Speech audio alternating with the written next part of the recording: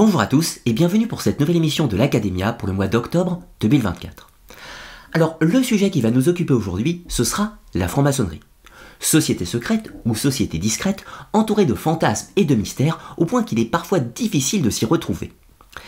Dans le cadre de mon activité, cela fait maintenant plusieurs années que j'étudie la franc-maçonnerie, sur le plan historique mais également sur le plan initiatique, afin de comprendre le fonctionnement de cette société, son origine, son histoire, son développement et globalement tout ce qui la concerne.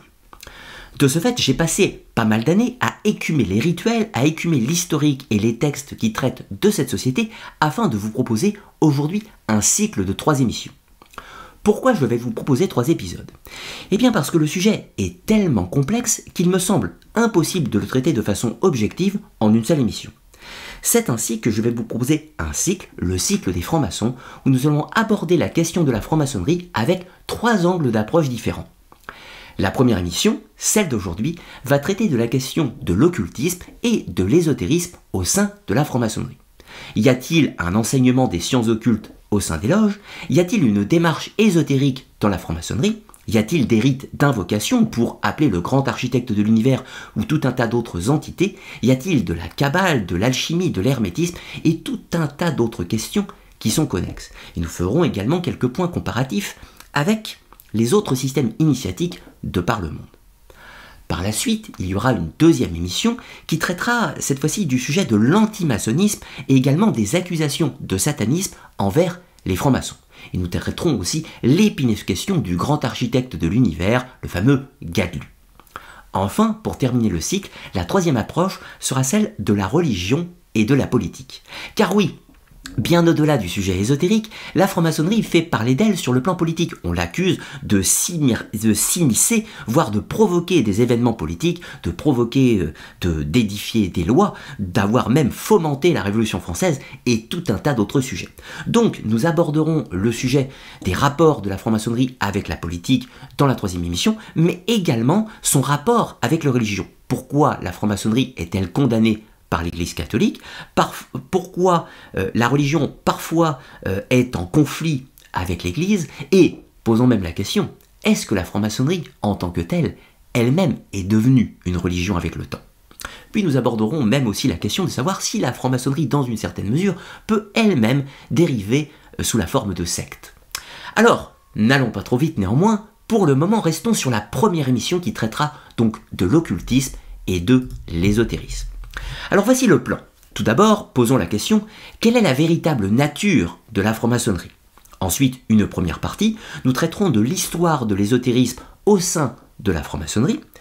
Et ensuite, nous parlerons des francs-maçons qui s'adonnent peut-être aux sciences occultes. Y a-t-il réellement de l'occultisme dans la franc-maçonnerie? Ou tout ceci est-il un fantasme? Enfin, la troisième partie traitera de l'initiation maçonnique à proprement parler. Nous parlerons bien sûr au cours de cette émission des rituels. Je vous citerai de nombreux exemples dans les rituels, certains textes d'auteurs maçonniques qui traitent de la question et tout un tas d'autres éléments, bien entendu. Alors, un petit point euh, qui me semble important néanmoins, cette émission n'a aucune volonté de faire la promotion de la franc-maçonnerie, ni même d'en faire la critique. J'ai pour ambition de proposer un travail en totale neutralité sur le sujet de la franc-maçonnerie. De ce fait, je ne suis pas là pour faire plaisir aux francs-maçons et je ne suis pas non plus là pour faire plaisir aux anti-francs-maçons.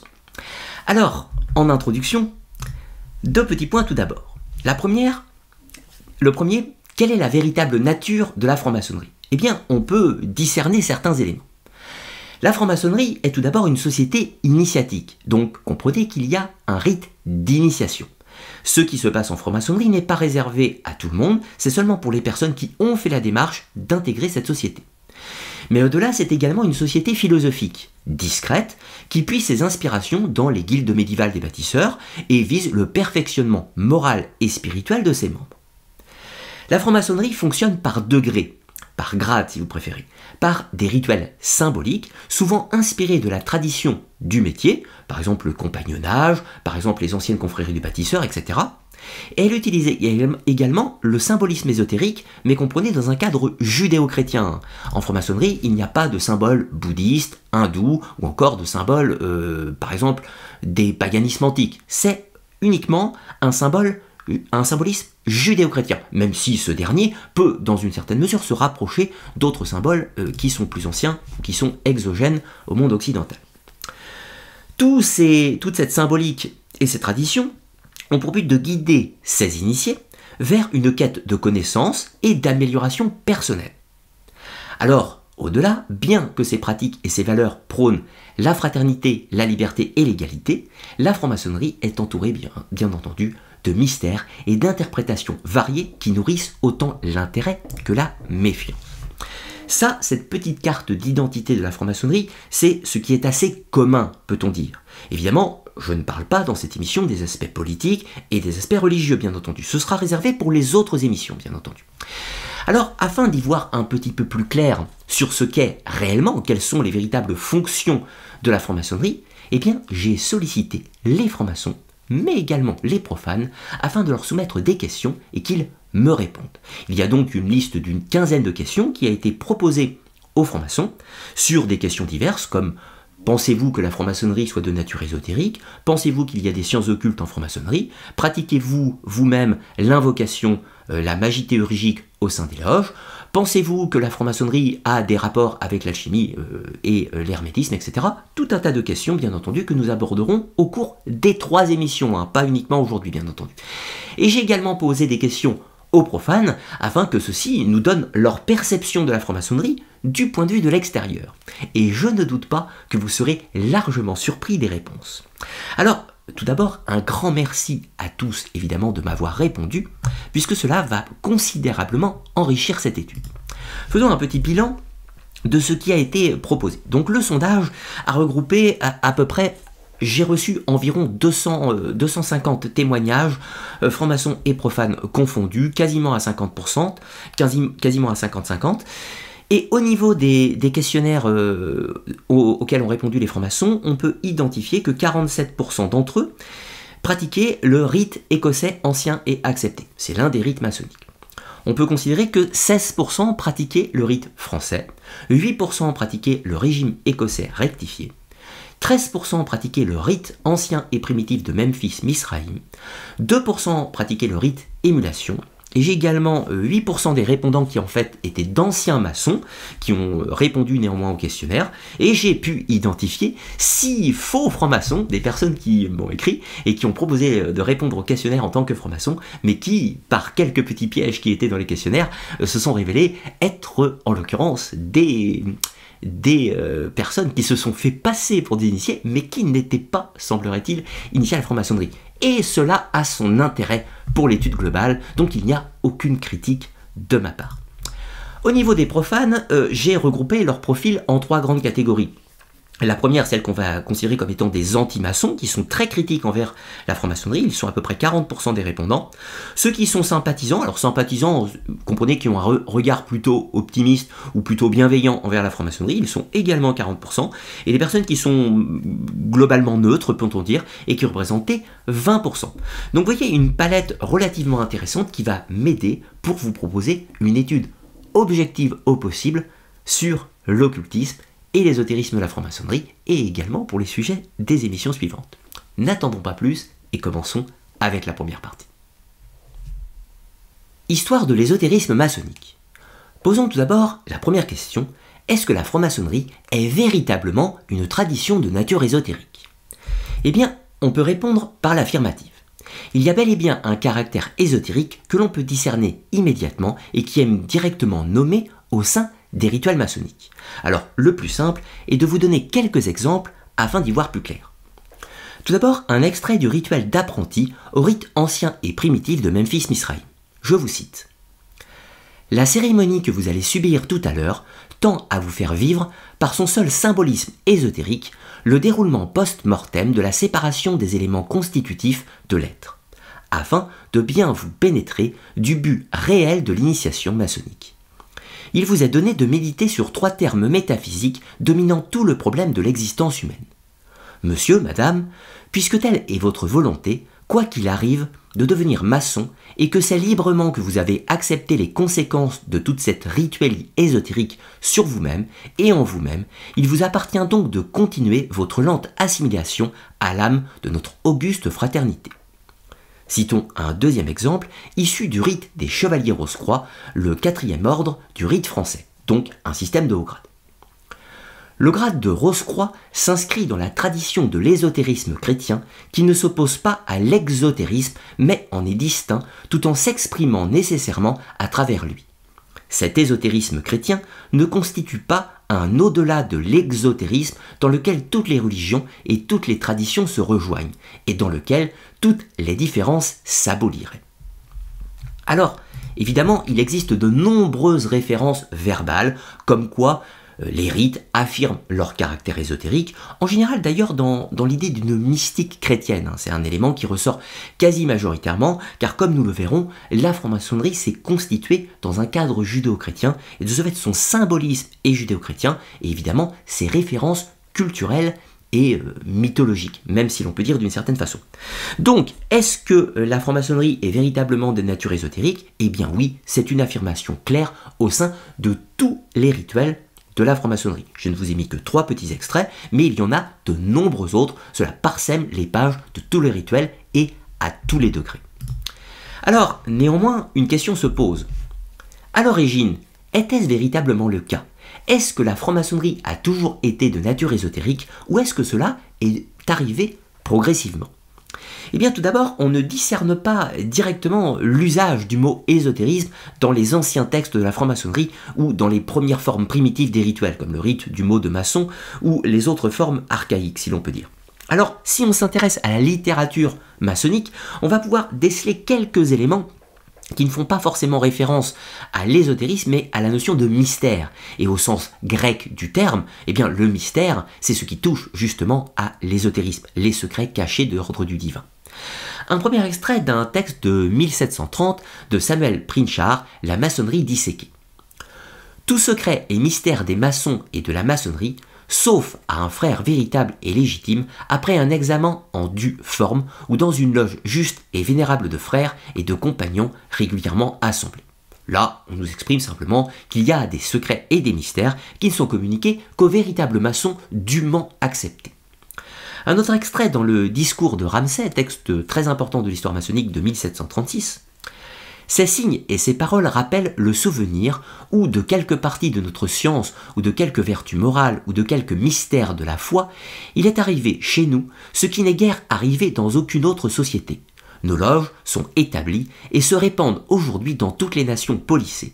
Et cependant, dans une si nombreuse multitude d'hommes, jamais aucune confrérie n'a trahi nos secrets petit extrait euh, choisi de L'Ariman raisonne, un autre texte maçonnique de 1757, il reçut le nom de franc-maçonnerie parce que les maçons de Jérusalem et de Tyr étaient alors les plus grands kabbalistes du monde, que euh, le mystère est pratiqué de façon générale chez les bâtisseurs depuis l'époque de Salomon.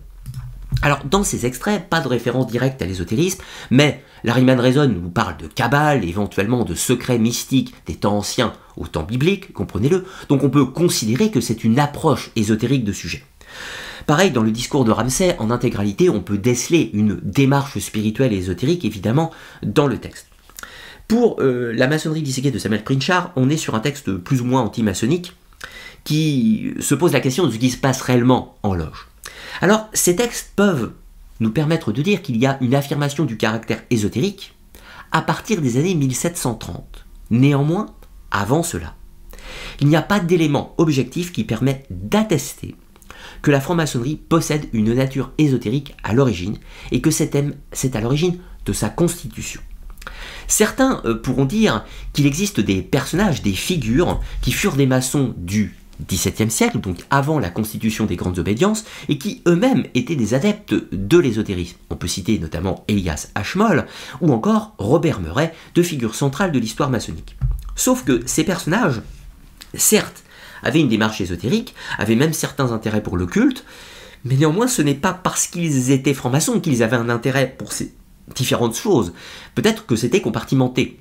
Donc ce que l'on peut dire, c'est qu'à l'origine, au moment de sa fondation, c'est-à-dire au XVIIe siècle, les premières loges de franc-maçonnerie spéculatives, hein, comprenez-le, inspirées des loges opératives précédentes, étaient des clubs sociaux, des clubs de réflexion philosophique et probablement sociétale, mais qu'on ne peut pas affirmer qu'il y a un caractère, ésotérique à l'origine.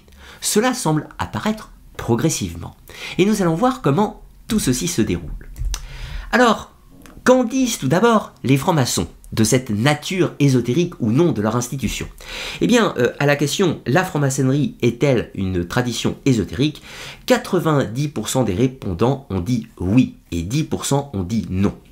Je vous cite les quelques extraits. Oui, elle utilise des symboles et des rituels pour transmettre des idées, mais ce n'est pas un secret surnaturel, c'est une réflexion philosophique. La franc-maçonnerie, je ne sais pas, cela dépend. Il me semble du rite, euh, il me semble que cela dépend du rite. Le rite français est bien moins ésotérique que le RE2A ou le rite ancien et primitif de Memphis Misraï. Oui, pour son contenu bien sûr, qui touche à trois dominantes de l'existence humaine, l'aspect social, l'aspect philosophique et l'aspect spirituel, mais surtout compte tenu de la méthode de transmission. Si on parle de l'ésotérisme en tant que matière qui traite de pratiques parascientifiques, introspection, études des mystères, pratiques occultes, je pense que la franc-maçonnerie n'est pas de cette nature. Mais si on parle de l'ésotérisme en tant que connaissance absconte, obscure, qui ne peut être comprise que par des initiés, alors je pense que la franc-maçonnerie est de nature ésotérique. Donc vous l'aurez compris, pour les maçons, il y a bel et bien l'affirmation de cette nature ésotérique. Mais qu'en disent les profanes? Eh bien, eux aussi répondent oui, oui à 88% et non à 12%. Je vous cite quelques extraits. Oui, pour une grande partie des connaissances, mais elle pourrait être, être exotérique pour les premiers degrés. Oui, mais une forme de fourre-tout majoritairement abrahamique. Au début, non, et cela a été une sorte de club secret pour hommes qui se rejoignaient pour échanger des idées, mais au fil du temps, cela s'est transformé en une sorte de culte avec des rituels. Et encore, oui, le Robert nous dit, le dictionnaire, hein, dit d'ailleurs que l'ésotérisme est ce qui se transmet seulement à des adeptes qualifiés. C'est la nature de la transmission maçonnique, à mon sens. Alors vous voyez que globalement c'est assez unanime, la plupart des profanes et des francs-maçons eux-mêmes reconnaissent cette nature ésotérique de leur institution, même si, encore une fois objectivement, il n'y a rien qui permet de l'affirmer au moment de sa création. Je sais qu'il y aurait débat sur cette question, mais les sources sont les sources, et c'est la difficulté de l'acceptation de ces sources, le caractère ésotérique initial reste à prouver. Passons à la suite de notre enquête. Maintenant, Parlons de la naissance des systèmes de haut grade qui, eux, clairement, ont une affirmation ésotérique dès l'origine. Tout d'abord, précisons que la franc-maçonnerie possède un système en degrés pour tous les rituels, hein, bien entendu, avec les trois degrés dits symboliques, apprenti, compagnon et maître. Sauf que, à l'origine, le rite du maître semble qu'il n'existait pas. Le rite de maître a clairement une portée ésotérique, notamment par le fait que c'est un rite de catabase, c'est-à-dire de mort et de résurrection symbolique, où symboliquement l'initié va prendre le rôle du maître Hiram, celui-ci est tué symboliquement, mis au tombeau, et par une ritualité particulière va être ressuscité symboliquement. Évidemment, il n'y a pas de meurtre dans les loges, il n'y a pas de mort réelle, mais c'est une mort symbolique, une résurrection tout aussi symbolique, qui est l'archétype de tout système initiatique. Donc, il y a une affirmation que le grade de maître est bel et bien de nature ésotérique. Mais quand, est-ce que ce rite va apparaître Telle est la question. Eh bien, le grade de maître n'apparaît pas au moment euh, de l'écriture des constitutions d'Anderson, c'est-à-dire en 1723. Il n'apparaît pas non plus dans les textes archaïques que nous avons préalablement. Il semblerait que ce rite commence à que ce grade, le troisième grade de maître, commence à se démocratiser entre les années 1725 et 1730. Et on peut affirmer de façon totale son existence en 1730 dans le fameux texte Masonry Dissected de Samuel Princhard qui affirme l'existence du rite de maître et qui va le populariser si l'on veut. Un peu plus tard, en 1738, on a une édition revisitée des constitutions d'Anderson qui commence à mentionner les structures de grade et inclut le grade de maître, ce qui légitime son adoption dans les pratiques maçonniques officielles. Donc, ce qu'on peut dire, c'est que si la maçonnerie n'est peut-être pas ésotérique à la fin du XVIIe siècle et au tout début du XVIIIe siècle, eh bien progressivement l'ésotérisme va entrer dans la franc-maçonnerie par le vecteur du grade de maître et surtout par les systèmes de grade qui vont suivre. Alors, le discours du chevalier de Ramsay, c'est un texte qui est fondamental dans l'histoire de la franc-maçonnerie. Il, il existe en deux versions, en 1736-37. Et dans ce texte, euh, Michel Andrew de Ramsay, donc qui est un, franc-maçon écossais installé en France, va développer trois thématiques. Tout d'abord, il va populariser l'idée d'une origine chevaleresque. Il affirme que la franc-maçonnerie descend de chevaliers croisés et non seulement des bâtisseurs médiévaux, et cela donne une image noble et spirituelle de l'ordre. Ensuite, il développe l'idée d'une fraternité universelle. Il présente la franc-maçonnerie comme ouverte à tous, sans distinction de nation, de religion, de classe sociale, incluant ainsi euh, l'esprit des Lumières. Enfin, il popularise et provoque la gestation du système de haut grade, car il inspire tout l'ajout de grades supplémentaires, donc basés sur les valeurs chevaleresques et spirituelles qui deviendront les hauts grades maçonniques ultérieurs. Alors, c'est quoi ces fameux hauts grades qui font tant fantasmer? Alors aujourd'hui, on parle des célèbres 33 degrés du rite écossais ancien accepté, ou encore des 99 degrés du rite ancien et primitif de Memphis-Misraïm, avec des titres ronflants, grand maître des planisphères, chevalier bienfaisant de la cité sainte, souverain prince grosse-croix, chevalier kadosh, suprême maître de la voûte de l'arche céleste, et j'en passe des meilleurs, bien entendu. Alors, ces systèmes de grade commencent à apparaître à partir des années 1730. ils vont continuer à se développer indéfiniment jusqu'à la fin du XVIIIe siècle, et c'est là qu'ils vont se structurer pour former les rites tels qu'on les connaît aujourd'hui et tels que je vais vous les présenter. Alors, dans ces systèmes de haut grade, il y a clairement une affirmation du caractère ésotérique qui est totalement présent. Hein. Clairement, si on peut euh, douter de la notion totalement ésotérique des trois premiers degrés, enfin des deux premiers degrés, le grade de maître lui étant fatalement de nature ésotérique, il ne fait aucun doute que les hauts grades sont de nature ésotérique et ont été créés pour cela. Voici trois exemples. Je ne vais pas tout vous citer, hein, je vais seulement citer deux exemples. Le premier est donc le 18e degré euh, du euh, rite écossais ancien accepté, le prince souverain Rose-Croix. Dans les quatre branches de la croix, vous verrez, vous voyez les quatre lettres, INRI, ces quatre lettres, alternativement prononcées, forment le mot sacré du grade de Rose-Croix. Elles représentent non pas une croyance religieuse, mais toute une série de formules correspondant à des interprétations diverses ou aux symboles astronomiques, physiques ou philosophiques fournis par la légende d'Iram. Ensuite, le rite du chevalier d'Orient au rite français. Mes frères, la réédification du temple est, maintenant notre principal objectif. Zorobabel, un si grand ouvrage vous était réservé. Les engagements que vous venez de prendre avec nous en assurant l'exécution. Nous avons besoin d'un chef qui nous guide dans nos travaux et soit en même temps notre défenseur. Le glaive dont vous êtes armé et que vous avez su conserver nous garantit le succès de vos travaux. Venez maintenant recevoir les attributs de votre nouvel état et la connaissance de nos mystères. Et évidemment, un troisième exemple sur le côté que vous pourrez reconsulter en replay ou dans les sources sur le rite ancien et primitif de Memphis-Misraïm au 97e degré, le sublime prince de la maçonnerie.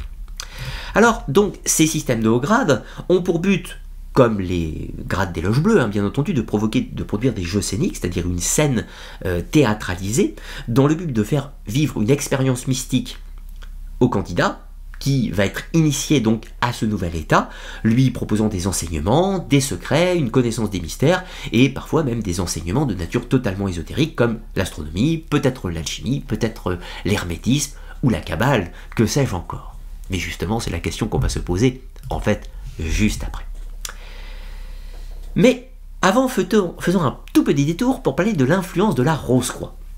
Rappelons rapidement que la Rose-Croix est à l'origine la publication de trois textes, la Fama Fraternitatis, la Confessio Fraternitatis et les Noces chimiques de Christian Rosenkreuz, publiés respectivement en, 1614, 1615 et 1616. Dans ces euh, trois documents, les manifestes de la Rose-Croix, il y a euh, la mise en avant d'une fameuse société secrète qui aurait une vision ésotérique, une tradition mystique de très très haut niveau, avec une chaîne d'initiés ininterrompue, des rites secrets, des enseignements et des mystères. Les manifestes de la Rose-Croix sont clairement de nature ésotérique, de nature hermétique et de nature alchimique. D'ailleurs, leurs auteurs, le cercle de Tunbingen, notamment et notamment euh, euh, Johannes Valentin, euh, eux-mêmes étaient dans une mouvance hermétique hein, de l'époque. Donc il y a clairement un caractère ésotérique dans la Rose-Croix à l'origine. Ça va faire beaucoup parler. Certains vont douter de l'existence réelle de la Rose-Croix, d'autres vont affirmer son existence, d'autres vont être suspectés d'en faire partie, et notamment le fameux Elias Ashmole, notamment Francis Bacon, notamment Michael Mayer, des grands noms de l'ésotérisme bien entendu. Donc la Rose-Croix, à ce stade, n'a pas de lien avec la franc-maçonnerie. L'idée, enfin les manifestes de la Rose-Croix apparaissent avant la franc-maçonnerie, et la franc-maçonnerie apparaît séparément. Sauf qu'il va y avoir une rencontre entre les deux au début du XVIIIe siècle, de nombreux adeptes des préceptes de la Rose-Croix sont présents dans les loges, qui sont des clubs mondains de la bonne société d'une certaine façon. Et de ce fait, ces traditions et ces idées rosicruciennes, largement empruntées à l'hermétisme et à l'alchimie notamment, et la mystique chrétienne, vont commencer à permettre la gestation, en fait, du système de haut grade maçonnique. C'est pour cela que vous allez retrouver de nombreux hauts grades maçonniques qui font référence à la Rose-Croix, notamment le sublime prince Rose-Croix, le chevalier Rose-Croix, etc., etc., etc., bien entendu. Donc, au XVIIIe siècle, le rosécrucianisme s'entremêle avec la franc-maçonnerie et certaines loges maçonniques adoptent des rituels et des symboliques rosicruciens contribuant à la fusion des traditions ésotériques. Maintenant, passons à la question euh, oui, oui, je, vous citais euh, très rapidement trois petits exemples hein, de, rites qui font référence à des, euh, notions rosicruciennes, bien entendu, notamment au rituel du 18e de Chevalier Rose-Croix du RE2A, pour affermir notre zèle dans l'accomplissement de nos devoirs de Chevalier Rose-Croix et pour concourir sur le 18e degré de l'échelle maçonnique au maintien du caractère universel de notre institution. Pour y citer notamment un exemple dans un, ancien rite maçonnique, le rite des élus Cohen de Martinez de Pasquali, où il est dit Lorsque les officiers dignitaires sont en place, le souverain maître entre avec ses deux réaux-croix. Donc le réaux-croix hein, qui fait référence au dernier grade des élus Cohen dans le système de Martinez de Pasquali et qui s'inspire évidemment de la Rose-Croix. Alors maintenant parlons un petit peu de l'apport euh, de l'alchimie et de l'hermétisme. Euh, tout d'abord, Comprenez que c'est un sujet à débat, comme vous allez le voir tout à l'heure dans les réponses des francs-maçons et des profanes. Certains affirment absolument la franc-maçonnerie est absolument liée à l'alchimie et l'hermétisme, et d'autres disent absolument pas, ça ce sont des rajouts du XVIIIe siècle, ça n'a rien à faire en franc-maçonnerie. Le débat est tout le sur ce sujet. Alors voyons ce que l'on peut en dire tout d'abord sur le plan historique. Le premier, c'est l'élément du vitriol des alchimistes et des hermétistes de la Renaissance. Alors, il y a peu de temps, je vous ai proposé une émission qui s'appelait donc Vitriol, le secret des francs-maçons, donc euh, qui parlait des liens et des rapports de cette formule euh, vitriol avec la franc-maçonnerie. Pour vous le rappeler rapidement, vitriol, ça veut dire visite l'intérieur de la terre et en rectifiant euh, et en te rectifiant, tu trouveras la pierre cachée.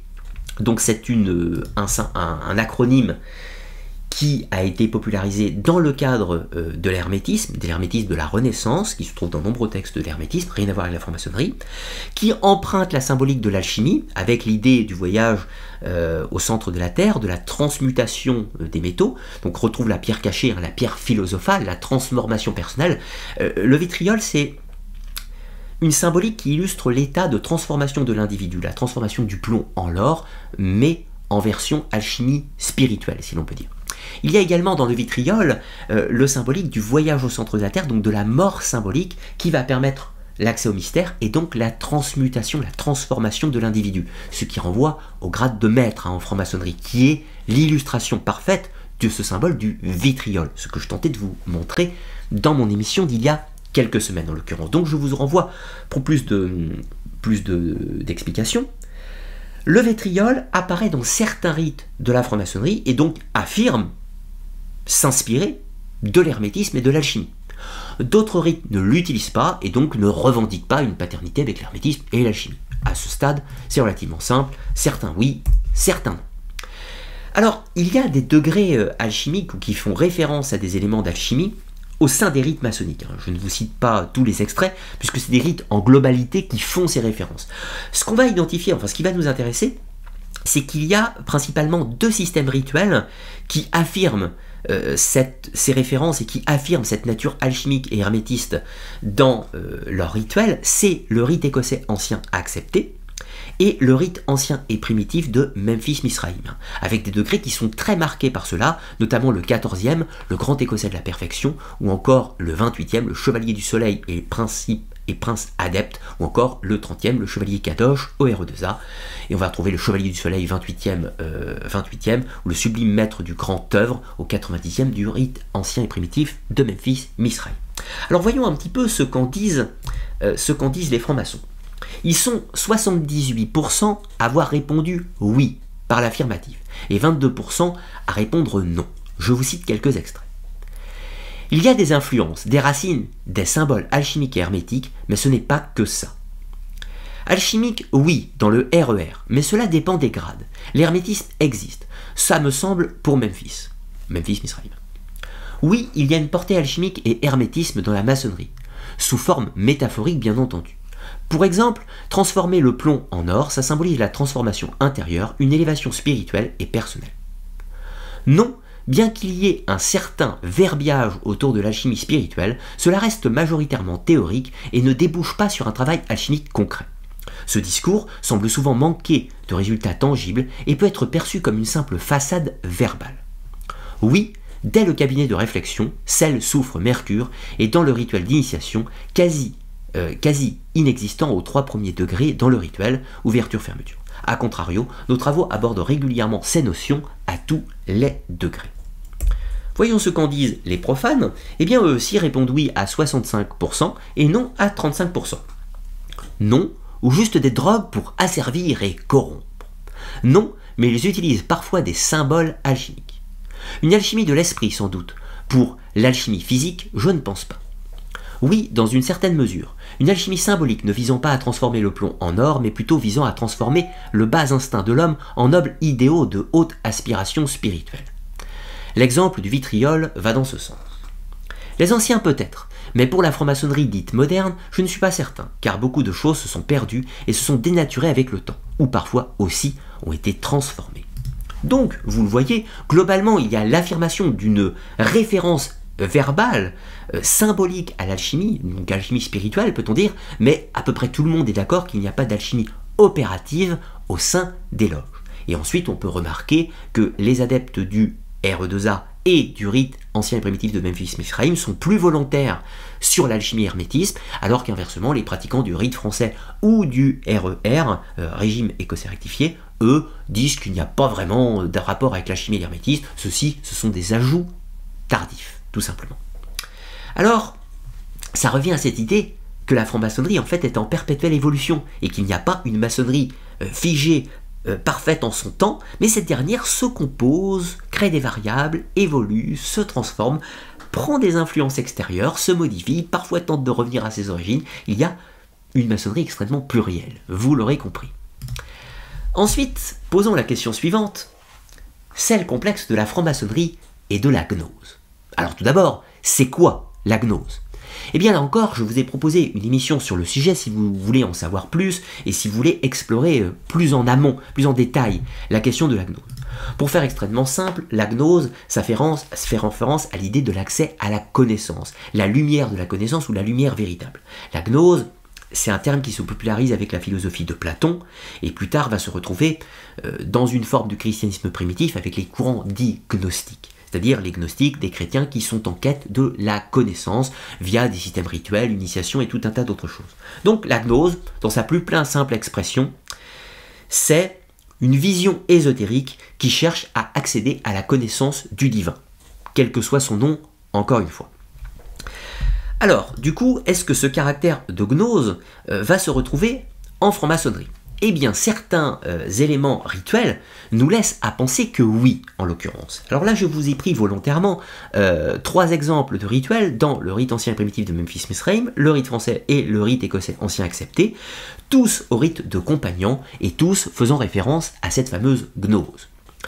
Quand il y a, euh, lors du rite de compagnon franc-maçonnerie, le candidat va être mis en présence d'une étoile à cinq branches, un pentagramme qu'ils appellent l'étoile flamboyante. Et cette étoile flamboyante porte en son centre une lettre G. Alors cette lettre G peut être euh, représentative de plusieurs éléments. Certains vont dire qu'il s'agit de God, c'est-à-dire Dieu en anglais. D'autres vont dire, comme dans le RE2A à l'instant, géométrie, génération, gravitation, génie, ou encore gnose, connaissance intégrale de la vérité, union de l'homme avec le divin. Dans le rite ancien primitif de Memphis Misraim, c'est plus affirmé. C'est la gnose, représentée par la lettre G, communiquée par la lumière initiatique véhiculée par ce que désignait l'étoile flamboyante, qui conditionnait le triomphe de cette épreuve. Ce mystérieux carrefour où s'accomplit l'ultime voyage, la franc-maçonnerie vous en offre l'image. L'équerre emblématise les deux routes face au compas symbolisant l'architecte divin. Cette tradition, la Grèce l'a connue avec le pythagorisme et la Judée l'a connue avec le kabbalisme. Et on va retrouver encore l'idée de gnose dans le rite des compagnons au rite français, bien entendu. Donc, la gnose est bien présente euh, en idéal dans les rites de la franc-maçonnerie, avec cette idée de recherche de la connaissance, bien entendu. Mais là, la question se pose avec un autre sujet, c'est celui de la gnose luciférienne. Alors vous m'excuserez pour les représentations, mais je n'ai pu résister à l'envie de vous mettre quelques images du paradis perdu de John Milton, illustrées par le brillantissime Gustave Doré. Alors, c'est quoi la gnose luciférienne? Eh bien, c'est un courant ésotérique qui existe sensiblement à partir lui aussi du XVIIe siècle, et qui voit en Lucifer non pas le diable, non pas le tourmenteur et le tentateur, l'horrible démon, mais voit en Lucifer l'ange de lumière, celui qui est le porteur de connaissance. Lucie féroce, en latin, c'est celui qui porte la lumière, le porteur de connaissance. Lucifer fut même, dans les temps anciens, au temps de l'Antiquité romaine, l'un des titres pour désigner Jésus-Christ. Pour plus de précision sur tout ceci, je vous ai fait une très longue émission sur Lucifer le porteur de lumière pour euh, pouvoir en savoir plus. D'où la question, est-ce que la gnose des francs-maçons aurait quelque rapport avec l'idée de la gnose luciférienne? Pourriez me dire, je suis volontairement tendancieux en posant cette question. Eh bien pas tellement, puisque le symbole luciférien par essence, c'est l'étoile à cinq branches, c'est la fameuse lumière dans le ciel, c'est l'étoile Vénus, la première qui annonce la dernière, celle qui annonce le lever du soleil, celle qui annonce l'arrivée de la lumière. Dans les temps anciens, le dieu romain Lucifer était le porteur de lumière, celui qui annonçait le lever du soleil, et son frère Vesper était l'étoile du soir qui annonçait la mort du soleil. Donc, l'étoile à cinq branches, l'étoile flamboyante des francs-maçons, peut immédiatement faire penser à la gnose luciférienne. Alors voyons ce qu'en disent les francs-maçons en leur posant directement la question. L'expression gnose luciférienne renvoie au satanisme. Ce n'est pas un terme à utiliser en franc-maçonnerie. La lumière en franc-maçonnerie signifie la connaissance et la sagesse. Pas de culte de Lucifer ici. Cet aspect de la gnose m'échappe pour en parler. Par contre, toute démarche qui permet de se rapprocher d'une lumière au sens de connaissance et non de vérité a du sens pour moi. La franc-maçonnerie essaye d'envelopper cette recherche de lumière-connaissance. Pas que je sache, mais ceux qui affirment cela disent que c'est dans les très hauts grades qu'on le découvre. Don't act, j'attendrai d'être au 33e pour vous répondre. Soyez patient, rendez-vous dans environ 25 ans. Il y a 68% des francs-maçons qui ont répondu oui, la franc-maçonnerie possède des rapports avec la gnose luciférienne au sens lumière de la connaissance, accès la connaissance. Évidemment, vous pourriez vous dire avec ces quelques extraits que la plupart rejettent le qualificatif luciférien, puisque il y aurait le doute que ça renvoie à une image diabolique ou une image maléfique. Mais d'autres francs-maçons ont des réponses totalement différentes à ce sujet, et je vous les cite en l'occurrence. Oui et non. Bien que le principe luciférien ne soit pas abordé en tant que tel dans nos rituels, notre démarche maçonnique s'y rapproche le mythe de Lucifer nous ramène à notre propre état d'homme déchu, affaibli, imparfait et mortel. L'être qui doit s'améliorer pour se diriger vers le divin parfait et unique, la vérité universelle. Oui, mais c'est pour cela qu'il faut le cacher, car non compréhensible par la masse. Gnose, évidemment, luciférienne au sens porteur de lumière et de connaissance aussi, car le maçon trouve les réponses en lui-même et ainsi la lumière. Oui, je vis personnellement la maçonnerie comme une gnose, et j'accepte, à la lettre G, au cœur de l'étoile flamboyante, avec toute cette signification. J'accepte volontiers la figure de Lucifer au sens originel et gnostique du libérateur et de l'initiateur, détaché de toute récupération ou connotation diabolique ou satanique. Donc, vous l'aurez compris, les avis sont en réalité partagés. Certains maçons, notamment et principalement dans le rite ancien et primitif de Memphis Misraïm, ou le RE2A, le rite écossais ancien accepté, ceux qui ont plus une portée ésotérique affirmée, vont accepter l'idée de gnose luciférienne au sens que je vous l'exprimais, c'est-à-dire le porteur de lumière, l'accès à les connaissances, l'étoile du matin, etc., etc. Et beaucoup d'autres, ceux qui ont en général des rites moins marqués par l'ésotérisme, comme le régime écossais rectifié, le rite français ou le rite émulation par exemple, vont plutôt être timides avec cette affirmation, voire catégoriquement la rejeter, mais 62% quand même ont répondu oui à l'idée du gnose luciférienne. Alors, évidemment, cela fera parler, mais comprenez, il ne s'agit pas d'une figure du diable, mais bel et bien d'une figure de porteur de connaissances, et donc l'illustration la plus parfaite du concept de la gnose, au sens l'accès à la connaissance, et donc l'accès à la lumière, au sens symbolique bien entendu. Alors maintenant, poursuivons notre aventure avec la deuxième partie, les francs-maçons et leur rapport avec les sciences occultes. Nous allons parler de la maçonnerie, savoir si c'est une forme d'occultisme en fait. Nous parlerons de la maçonnerie au siècle des occultistes, quels sont leurs rapports avec les milieux occultistes. Ensuite, nous parlerons des sociétés secrètes dites paramaçonniques, ou les sociétés secrètes typiquement occultistes. Nous parlerons du cas particulier des rites égyptiens, et enfin nous parlerons de la chasse aux sorcières des francs-maçons, le moment où les francs-maçons vont faire la guerre aux occultistes, voire les rejeter, et même tenter de diminuer leur importance au sein de leur institution. Nous voici arrivés à la fin de cet extrait sur YouTube, et je vous remercie d'avoir suivi cette émission. Si vous souhaitez accéder à l'émission complète, il faut vous rendre sur Tipeee, mon site de financement participatif qui me permet de continuer mon activité. Vous pouvez faire un type de 5 euros ou plus pour accéder à cette émission et pensez bien à me préciser dans votre message le nom de l'émission auquel vous souhaitez accéder, à savoir par exemple le cycle des francs-maçons, occultisme et ésotérisme, pour accéder à la vidéo d'aujourd'hui. Dans la suite de cette émission, vous aurez donc la deuxième partie hein, qui va traiter des rapports entre les sciences occultes et la franc-maçonnerie. Nous verrons si les francs-maçons font des invocations, s'il y a une étude des sciences occultes au sein des loges. Et dans la troisième partie, nous parlerons de l'initiation maçonnique, quelles sont ses spécificités, quels sont ses symboles, quels sont ses enseignements, et nous établirons quelques points comparatifs avec d'autres systèmes initiatiques à travers le monde. Dans tous les cas, je vous remercie pour vos nombreux messages, je vous remercie pour votre soutien et je vous dis à très bientôt pour de nouvelles émissions sur la chaîne Arcana les mystères du monde. À très bientôt.